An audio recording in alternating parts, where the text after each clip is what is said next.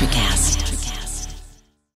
Cars say a lot about who we are. It represents freedom for a lot of people. This season on Drive, I'm going to talk to all sorts of different people. I looked at car names. Yes. A- and Yes. I found all the car names that have science or astronomically It's inspired. crazy. They- It's huge. It is. Yes, I happen to be CEO of Ford Motor Company. For me, it's all about cars, movement, and our mutual passion for things that get us around.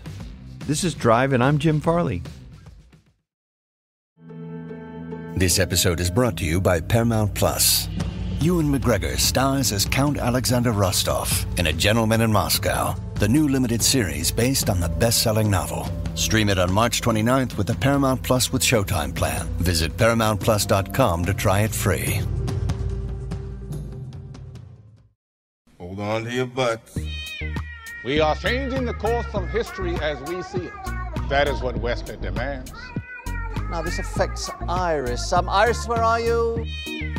What you feel only matters to you. I do not entertain hypotheticals. The world as it is is vexing enough. Iris, I have a tip for you. Don't take drugs! Or whatever movies with Wesley and Iris. What up, and welcome to Or Whatever Movies. I'm your co host, Iris, and I'm here with my older brother. Ducks. Uh, what, excuse me? Ducks? Ducks. She calls everyone ducks. Oh. It's really sweet. Ducks. I want someone to call me ducks. It is pretty cute. Today we're talking a movie from 2022, available on VOD Mrs. Harris Goes to Paris. Did you know that this is based on a beloved book, according to the trailer? That much you probably knew, right? No. Did you know that there was a 1992 film version featuring Angela Lansbury in the titular role, and it was titled Mrs. Iris Goes to Paris? No. Apostrophe A, Mrs. Iris. Oh, Mrs. Iris, like in a Mary Poppins esque, like like in a Cockney kind of way, I guess. offensive Cockney kind of way. I, I don't know if she was Cockney in this one, but she was definitely, you know, she was working class. Do they call it blue collar in the UK? No, especially not in London. You know, in the high fashion, it's probably periwinkle. Periwinkle cravat. You keep Something doing the like that? accent, right? This is, I mean, at least I can kind of do a British accent, kind of. Welcome to Woman's Movie September. Yep, making up for all of that dude fatigue. This movie's direct contrast with it. But I, I'm I have a bone to pick with you, Wesley, my dear Uh-huh. older brother. I really feel like you personally have ruined me for movies like Mrs. Harris Goes to Paris. Oh, yeah. I'm just gonna say it. Have you transcended the rom com genre? I don't have capacity to appreciate Mrs. Harris Goes to Paris, and I blame it on you. Is it because you knew from the second we saw them that Clark and Lois were going to have their little bonk cute and like get together at the end? Bonk cute. There was no bonking in this movie. Yeah, they bonked their heads together. Oh. Not the British bonking. Oh, I'm thinking. I'm thinking boinking. They're bonk cute. Aw. And then they like zipped away on his little scooter. Yep. So romantic. Yeah, but it, so it's working on you. What's the problem? Okay, so I mean, parts of it did, but did I find Mrs. Harris Goes to Paris as grinning ear to ear charming as did our dear friend Amy Chafin or your dear fiance Kelly Ray? She literally said, as the credits rolled, I don't think I stopped smiling that whole movie. Yeah, they loved it. And then and and Amy also spent hours looking for vintage Christian Dior dresses on online. And you're just not in that place anymore? You're not you're nowhere near Mrs. Harris's age. What's the problem? I was just like, who is this movie for? And also, how does a movie like this still get made? Which is a wonderful thing, don't get me wrong. But I'm kind of like, "R- really? Like, there's nothing daring, dramatic, innovative. There's no major star power. Like, how does Mrs. Harris Goes to Paris get made? How dare you? Lesley Manville of Phantom Thread fame? She was terrifying and awesome in that movie. She was also terrifying and pretty awesome in Let Him Go, available now at orwhatevermovies.com. was she awesome in Mrs. Harris Goes to Paris? Ask mom who this movie is for. This is a light moment for moviegoers to celebrate. Not post pandemic, because we're still in the middle of it, but to be able to enjoy something, and especially for us coming out of Dude Fatigue Summer. Dude Summer that was primarily characterized by Nick Cage, who makes dude movies. This is a lark and you need these moments to breathe, these movie moments to breathe uh, before we head into Halloween season. Because you're going to be like, I miss the Mrs. Harris Goes to Paris days. You ready for my whimsical throwback title? Go. Grandma Molly. works, right? Uh, it was the inflection. Grandma Molly. I mean, it's been a it's been a minute, but Amelie is all about a dream and like getting your way and design. Yeah. And she's like kind of running around on her own. I mean, she's got people in her life, but really it's just, it's kind of her inner monologue. And similarly, Mrs. Harris has friends and suitors and business people that she works for in junk, some of them horrible people, but it's just a glimpse of UK, like Amelie was a glimpse of the Parisians. And she has her moment of exposition where she talks to herself slash her husband on the wishing bridge and stuff. What is it with old women and their need to just throw stuff in the water? Is this a Titanic reference? Yeah. It's like a cleansing, passing, ritualistic moment. Although I really was uncomfortable with how she hung everything over the side of the bridge all the time. Like it's one thing if you're committing and you're like ready to toss the thing in, but like until you're ready, keep it on the other side of the bridge, please it's like not worth the risk. It's like Michael Jackson dangling blanket over the balcony railing. Let's go with just hanging your phone over a bridge for selfie. If you don't intend to throw it in the water, don't put it in a position where it can fall in the water. Exactly. She before she even opened the box with the telegram, she was like unwrapping it and leaving it on the bridge railing. I was it was like the most tense moment of the whole movie. you found this movie tense? So weird this movie was about her being transported by a dress. And uh, if you're not on board, like we talked about Mr. Malcolm's list and stuff, if you don't care about the intrigue or who's going to end up with what, uh, that movie and this movie are going to be a tough sell. Like my chromosome pre- prevents me from being like, oh, the dress. And so I kind of don't care. Like fashion isn't a thing. And yet, this is maybe the most I can relate to appreciation or love of fashion because she, her whole life is about this dress. It's fundamentally important to her. The dress, in a way, of course, represents, uh, you know, the unattainable or whatever, presumably based on her class, but it's all she wants. And it, it's the first time that something as dumb as a dress at an exorbitant, like a ridiculous cost for her time and place in the world, where it kind of makes sense because she's like going for it. And for the first time ever, I was like, I want Mrs. Harris to have that dress. of course, we want Mrs. Harris to succeed. This this movie is about the pursuit of a dream, however silly or subjective that dream may be. Of course, we want Mrs. Harris to get the dress. Although it seemed kind of risky to me, like to pin your hopes and dreams on a thing that may or may not be attainable seems really risky. And I thought that Mrs. Harris Goes to Paris was going to ultimately say it's not about the dress, it's about the pursuit of it, or it's about the friendships that you make along the way, or something to that effect. But really, it kind of ended up being about the dress. And maybe I would have gotten more on board with Mrs. Harris Goes to Paris if she thought it was about the dress and then she realized it was actually about feeling her best or looking her best as she goes through life or something more attainable. Lois tells her, You dare to follow your dreams, Mrs. Harris, and less about the dress and more about Mrs. Harris seemingly risking everything for something that was was seemingly innocuous or inconsequential in the grand scale of her life like she wanted to go to the peach tree dance or whatever and that was it you know then what happens then you hang it up in your closet in a laundry bag or whatever and, and once in a while you you stare at it in remembrance or whatever. But the whole point was that she was willing to basically leave her entire life in pursuit of something. The dress is the MacGuffin. And that was what it came to be about because I think Mrs. Harris and by extension Lesley Manville is everything in this movie.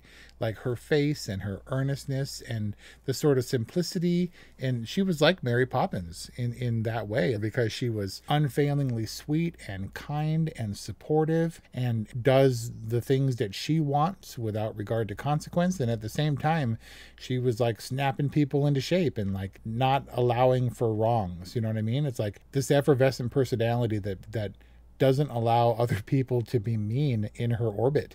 It's interesting that you say it's kind of all about the dress when I thought the dress was simply the device. It was want to come want to hear my my other secondary title for this movie? Go. Harris Gump saves the House of Dior. She's like a simple working class type who like affects culture and like saves a major fashion house. That's true. There was real consequence to her pursuit that Dior basically goes mass market. We have Mrs. Harris to thank for being able to shop Dior in in Neiman Marcus. You Do you have, have. any Dior? Do I have any Dior? You know what I found out? Um, you need a little luxury in your life, Wes. way, way back in the day, I wandered into an Abercrombie and Fitch, probably like just because I was waiting for someone or something, and I stepped You through the you door. might get spontaneous abs. well, whatever. And I was like just standing there, and they approached me much like um, Isabelle Huppert uh, regards Mrs. Harris when she walks into uh, Dior. And like, if there was an alarm button, they were would have been ringing it. They're like, "Can we help you?" And I was like, no, just looking around. And they were highly suspicious because of the dude that I am and the frame that I present. I don't think that they, that Abercrombie and Fitch, if it's still in existence, offers above a size medium.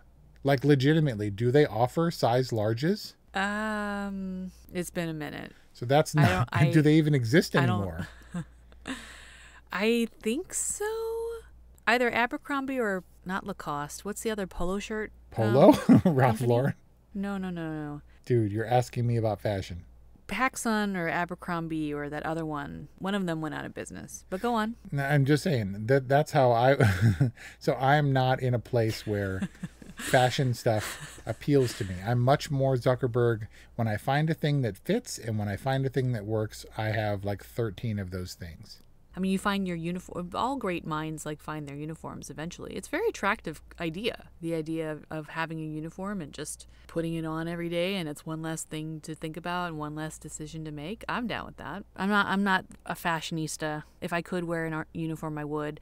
But somehow I'm sitting in a closet full of clothes that I barely wear. I'd like a designer dress, but kind of more rent the runway style than like put my wedding dress in a dress bag in my closet for the rest of my life kind of way. The way that I want to make my way to wealth is to exploit some group of people or whatever who are silly. Like the idea that that bitchy lady gets her dibs and gets her dress her way fitted for her until she drops out or commits a crime or whatever. Like selling that exclusive dress to her for $10,000 or something absurd in 50s dollars. Um, that's the way to go. I mean, there's it's fashion, high fashion, avant-garde fashion is is so ridiculous. Those there's only one of them, and then they have to be tailored to size. But you never see. It always makes me think of the I Love Lucy episode where they're wearing potato sacks, and because they believe in in, in its exclusivity, then they believe in its fashion uh, power. Yeah, it's like it all goes back to the Emperor's New Groove or the Emperor's New Clothes or whatever it's called. yeah, the Emperor's New Clothes. Right, definitely not the Emperor's New Groove. But I think it's interesting for you. It's interesting to bring up Lady Dant, who, yeah, I guess she and her husband commit some kind of fraud. Was this movie classist? I, I think absolutely it was, but because we're aligning ourselves, because we see ourselves in Lesley Manville's Mrs. Harris character, I think we were firmly on the side of the working class. It was more elitist in those other characters. I mean, I think that they absolutely look down on Mrs. Harris, but the movie doesn't.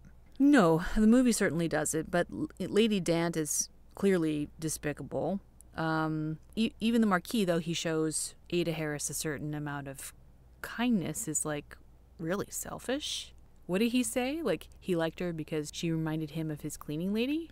I thought that was going to be a misunderstanding that he would clear and clear up and be like, "No, you don't understand. Her she was wonderful and it's not a matronly thing at all." And then he was just too stuffy to ever correct that, and he was like, "Oh, I'll buy you a dress from afar even though I'm never going to see you and you're going to go back with Frank or whatever who's been pining for you back in Philadelphia or whatever." No, it wasn't Philadelphia. It was, it was where was it? It was like Surrey or, or Liverpool or something. yeah, one of those periwinkle cravat cities. And Kelly Ray knew, and, and maybe you knew, but I thought that the Duke or whatever was going to score. I thought she was going to find her place and trans because we didn't. She didn't transcend her her place. She didn't. It's not like she was nope. whisked away, Pretty Woman style, because she was better than her class. You know. No, the Marquis was just a was just a thing, and uh, once his motives were revealed, then she was like peace, which was probably a good idea. She seemed she I felt like she didn't really give him an opportunity to explain, but he also had no explanation. He was just like, yeah, yeah. you remind me of you remind me of this other lower class woman that I kind of liked once. We need some stakes. That was the end of Act Two, right? Yes, it was, and she was she was pretty low. I think um, the dress gets destroyed like not too long after that. But even Claudine, the snobby Dior gatekeeper yeah. woman. Isabelle Huppert. Right. We get a glimpse that she is human, right? She has very human things that she's dealing with at home, caring for her husband. But there really is no redemption for her. Like, it's not like she's like, I was wrong and discriminatory. You know, it was just like, okay, I'm just going to accept you as being the pain in the ass that you've come to be. Yeah, um, she was in a defensive position in House Dior. Right. She. This is. I mean, aside from her difficult personal life, Dior was all she had, and the institution was all she had, and she derived a lot of worth and power from it and when we find out she's a real person and she gets knocked off her pedestal a little bit uh, you know we bring her down and, and that she was the face of dior and all its stuffiness and looking down on mm-hmm. mrs harris but ultimately she was the bridge between what Dior really was, which was you know something that was struggling in its high level concept and had to adjust, and being brought to uh, Mrs. Harris's sensibilities, where we were going to open it up for everybody. I think uh, What's Her Nuts represented that. Claudine. Yeah, just the receptivity of Dior and and finally kind of knocking it off its pedestal in enough of a way so it didn't have to be ultra exclusive for six people. And when she when she broke and was reduced to Mrs. Harris's level, more or less, she softened. And so I, I liked her character in that respect. It's Kaley Cuoco for Priceline. Ready to go to your happy place for a happy price? Well, why didn't you say so? Just download the Priceline app right now and save up to 60% on hotels. So, whether it's Cousin Kevin's Kazoo concert in Kansas City, go Kevin, or Becky's Bachelorette Bash in Bermuda, you never have to miss a trip ever again. So, download the Priceline app today. Your savings are waiting. Go to your happy place for a happy price. Go to your happy price, Priceline. Hey there! Did you know Baker's always gives you savings and rewards on top of our lower than low prices? And when you download the Baker's app, you'll enjoy over $500 in savings every week with digital coupons. And don't forget fuel points to help you save up to $1 per gallon at the pump. Want to save even more? With a Boost membership, you'll get double fuel points and free delivery. So shop and save big at Baker's today. Baker's, fresh for everyone. Savings may vary by state. Restrictions apply. See site for details. Fauvel kind of took over. He was the harbinger of Christian Dior next gen, and he had Natasha by his side. And I thought he was going to end up with Mrs. Harris when he first rescues her. Young Hugh Grant, like, swoops out of the Paris night or whatever. When was that? I remember when Natasha motors up in her little sporty red car. Yeah, but he, like, rescues her when she's, like, off with the station troll. Yeah, why was she? I, at first, I thought she was, like, humoring the station trolls. And then she was like, I'm gonna just sleep here. I was did they drug her? Yeah. What happened? Oh, we'll see you tomorrow. Why don't you sleep here next to me on the bench? No, they it, it just demonstrates that Mrs. Harris is the hub for all classes. They're all just people and they all deserve love. And when they have to be busted down a notch, in the case of Dior, she has no problem marching into Dior's office. Yeah, she does. That's when um when she gets all bustly and like intentionally metally. I think that's where I was kind of like, mm. yeah, when she got all mom. it was it was like a nice supportive mom. It was like southern bossiness where it's still, you know, God, come on, get up. You obviously know what you're doing is wrong, and so please stop doing it. Come on, we have work to do kind of vibe. It wasn't mean, it was much more Mary Poppins taskmaster. Yeah, it was. The, I I can see the Mary Poppins re- resemblance, and Mary Poppins is um she's so wonderful and delightful, but she's kind of a biatch, which Emily Blunt took to like another level. She's not subject to flights of fancy or whimsy. She's a governess, and thus must govern. Thus must govern. See, I think the key here is that Mrs. Harris doesn't change. Her life and circumstance changes, but she's absolutely the same person as a washerwoman than she was, with the possible exception that with less to lose and with a little bit of, of justification for her confidence uh, because of what goes down in Paris, she can tell all the other bitchy, whiny people to, to shove it or to like shape up, which she does. But I, I just think it is an embracing of her power to say the things that she wants to say that otherwise would have gotten her sacked, whereas now it doesn't matter anymore. Okay, but for a woman of practicality and common sense, she ex- exercises some pretty bad judgment in this movie. Well, she's out of her depth. Is she? Is it romantic or is it really a very bad idea to put your entire savings on haute couture, the haute couture dog in the greyhound races? Like, is that a good idea? Is it a good idea to lend your prized possession to a woman that you know to be irresponsible and kind of messy and untidy? This thing about in general, like if, if Eric was like, hey, can I borrow your pants? I'd be like, dude, no. I don't understand the whole thing, but it's not as though she asked. it's not as even as though Mrs. Harris had to consider the idea. Could I borrow your lovely, priceless, one of a kind Dior dress? She's like, come on, you have a dress. You can borrow my dress. Let's get you in the dress. It, it just was who she was, and I think it held as deplorable as it was, and how oh my god, and how that that note made me crazy just not even an apology. I'm fine. Your dress is ruined, but I'm fine. Not even a thank you, not even a so sorry or whatever. Yeah, not only not only was it like I'm fine, but it's like no, really, I'm being taken care of because it was very traumatic for me.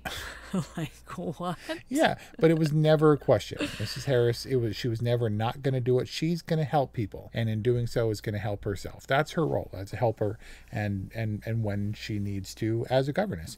But I didn't feel really any stakes. I felt that it was maybe this is how the movie was ruined for me as well.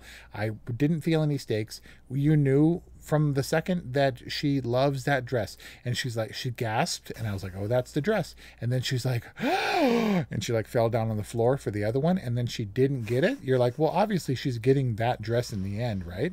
And so the placeholder dress that got ruined was just a means to get to the dress and the other dress, the the I, I can't even venture a color because I'll be corrected. But that dress that Try. was not green, the red, the red dress. that red dress, we knew she was going to get it, and so there were no stakes or whatever. It was more about when the bad things, if you can call them bad things, are happening to her. The people were unrepentant and pretty terrible and you're like, man, Mrs. Harris deserves more than this, so we have to wait 20 more minutes until she gets her due. So the point is, she stayed the same, and she was the same person without the dress as she was with the dress, and then without the dress again, and then getting her dress back. She didn't really change. She didn't do the thing I expected, which is what Natasha did. Whenever women change their life, they have to get dumb hair. It signifies to change or whatever in movies, and Mrs. Harris didn't do that. Natasha got that little pixie. Didn't she go blonde and get a pixie cut Whatever, or something? man. Uh, you got to do something, and, and and therein are the tropes that make romantic comedies, or I guess female empowerment type movies, so easily lumped into a category. And maybe how that's a bin in Walmart that you don't browse through anymore for the DVDs. I don't know, man. Okay, answer me this. You said something that made me think Mrs. Harris Goes to Paris is kind of inconsequential. In the way in the same way that the dress was the MacGuffin. But tell me, how is Mrs. Harris Goes to Paris any less consequential than The Gray Man? Is it because the gray man purports to save the world? I guess. But I never felt that. And I don't care that Mrs. Harris did or did not save Dior. This wasn't a true story, right? It's a fant- it's fantastical enough that I assume not. In terms of how consequential this movie, I don't know. I don't really care necessarily because it doesn't have to be a tight. I mean, Mrs. Harris, by definition, her life takes these turns that we're not necessarily supposed to agree with because we're not her because very few of us are as fearless to be like my entire life savings do you know that that dior dress adjusted for inflation is like $13000 or something Oh, that's it. Maybe it was 30. I wrote it down or I saw it somewhere at some point. but the point is that it's absurd and nobody with her working class means should have been able to That's afford true. it. But she makes these Forrest Gump pivots where like, oh, it's a running movie now. It's a ping pong movie now. And all of a sudden she's in Paris and you know things are going to work out fine. But in order to anticipate the nimble pivots, I don't know that this movie would have had any weight if you know at least it did something that i wasn't sure was a good idea and because of her conviction and just sort of wonderfulness she can pull off. Maybe it was one of those things that we talked about with other movies way back in uh, parasite. Remember we talked about people who have all of these skill sets and all of these proclivities that they would be really good if they applied themselves but they don't have the circumstance? Mrs harris Hmm. maybe was meant to be in the isabelle huppert role and running a giant company like Dior in as much as that lady was just because it's common sense and kindness and rightness that governs her life and by extension governs the people that she governs as governess of Dior and uh, the people in her little London life. I can see how Mrs. Harris Goes to Paris is a parable for the universe conspiring to help you achieve your dream. Like if you set out on your mission all alchemist style, the universe is going to conspire to deliver you to your dream. It doesn't mean that it's it's not going to be without setbacks, but I mean, how else can you explain getting some of your money back on the Greyhound dog race, or how can you explain winning the lottery, which end, which actually ended up not being that much money? No, but that's where the Amelie Forrest Gumpness comes in. How do you explain anything that happens fortuitously to Mrs. Harris? It's all about her delight and the whimsy in her life, and most specifically, when things happen to her, there is no sense of entitlement whatsoever. The, her only entitlement is her be, her backing by what is right and what she believes is right and is going to impress upon other people. But when good things happen, she is unfailingly delighted and touched and moved. There's no sense of of I this you know I'm finally getting my due. It's just you know she's so happy. She's like a like a hobbit with potatoes or mushrooms. She's just so delighted in that moment whenever when when these things happen to her it's like watching like YouTube reaction videos or reunions or whatever. How could you how could you not love it? You don't know or care about these people. They're not, you know, particularly wealthy or, or, or have any kind of real stature or place in our lives, but you see them be happy and you're like so happy for them. I was so happy for Mrs. Par- Harris and her going to Paris. Aww. I mean, I objectively understand what's happening in Mrs. Harris Goes to Paris, and I objectively understand why Ada Harris is a likable character. I just feel like I've got. I've been desensitized and I have some kind of like Mr. Malcolm's List style heart shield around my little my little heart that I, I just I, I don't know what it was. I just never let it in. All these never let it years, I just I just never let it in. Just throw your cigar into the ocean. I liked Mrs. Harris Goes to Paris a lot more than Mr. Malcolm's List. I wouldn't say there were different movies. Thematically, they're different or whatever, but I, I think you're supposed to get the same effect. You're ultimately supposed to be happy. Uh, I remember mom watching Amelie and like holding her, her fists up to her face and like going, Woo! She was so excited at the love story and stuff. And I don't think we quite got that payoff in terms of love for Mrs. Harris, but I, I could see, I can picture mom having the same level of delight. We'll do it. I'll get her, get her to watch this movie. But I liked it more than Mr. Malcolm's List, and I give it a firm, a solid, all right rating. I don't care what you say. What do you say, though? Come on. Can I give it like an Come objective good and like a dark shriveled heart whatever. For your Can I give your official review, I don't think can be bad.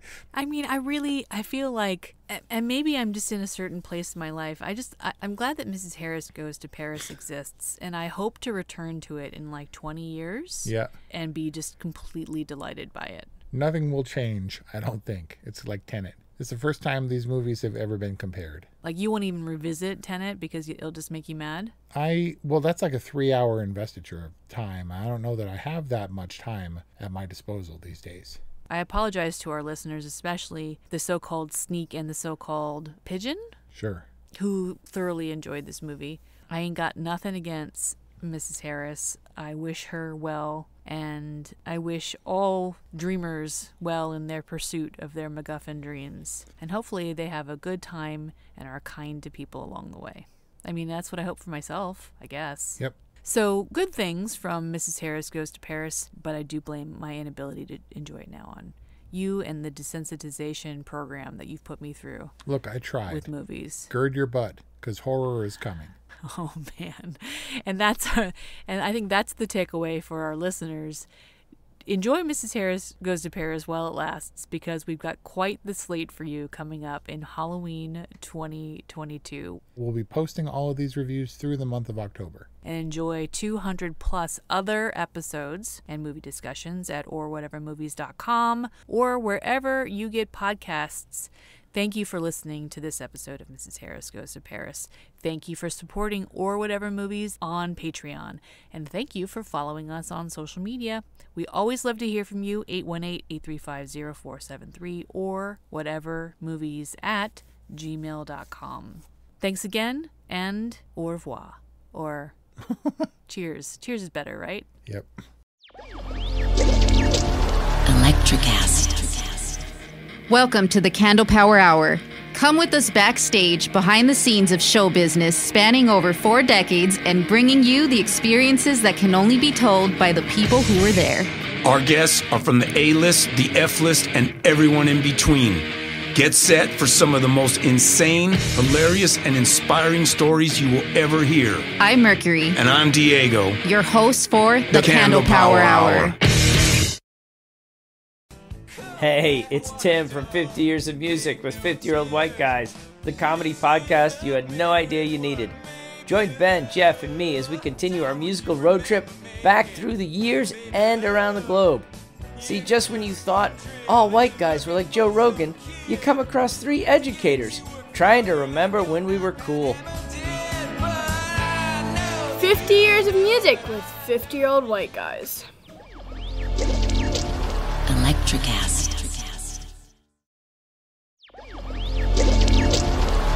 Electricast.